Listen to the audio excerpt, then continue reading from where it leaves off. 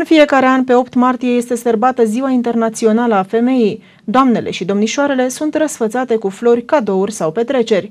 Vineri seară, în cele mai multe restaurante din municipiu au fost organizate petreceri, una dintre acestea fiind găzduită de restaurantul Ciobănașu. Timp de câteva ore, distracția a fost la ea acasă. Atmosfera a fost întreținută de Ionică Radu și Trupa Record, artiști cunoscuți mușcelenilor. Spăria pentru femei și dați femei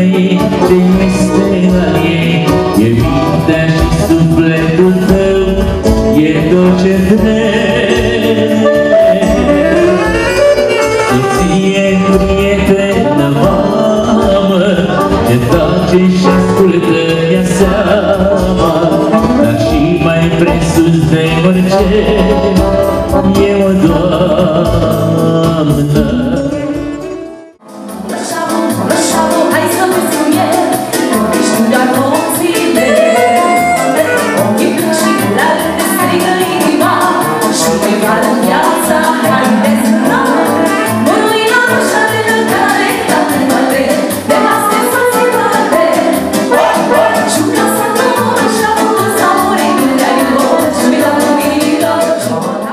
Capul de afiș al petrecerii a fost formația Azur din Brăila. Mușcelenii au dansat pe piese bine cunoscute ca Trenul Vieții, Cenușăreasa sau Mona, melodii care făceau furori în anii 80-90.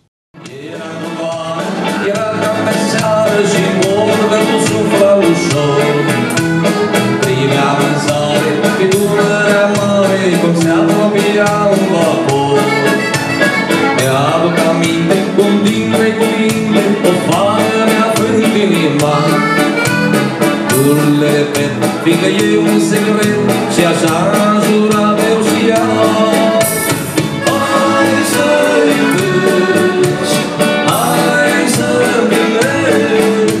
Fetițe frumoase la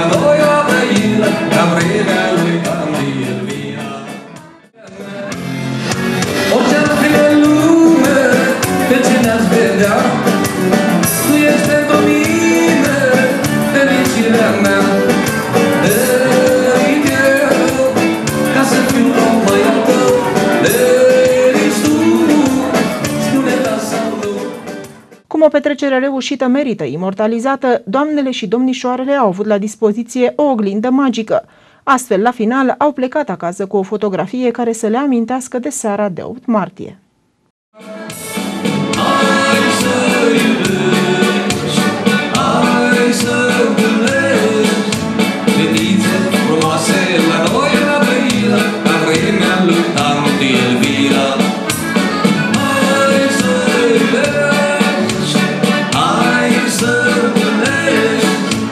luminițe frumoase